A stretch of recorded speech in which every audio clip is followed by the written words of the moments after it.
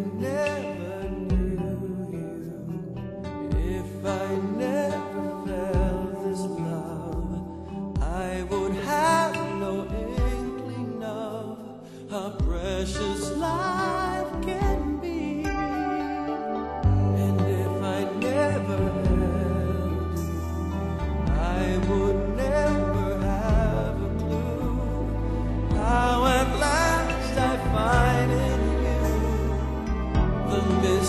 part of me.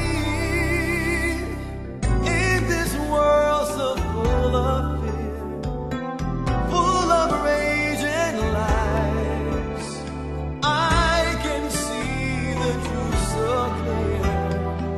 In your eyes, so dry your eyes And I'm so grateful.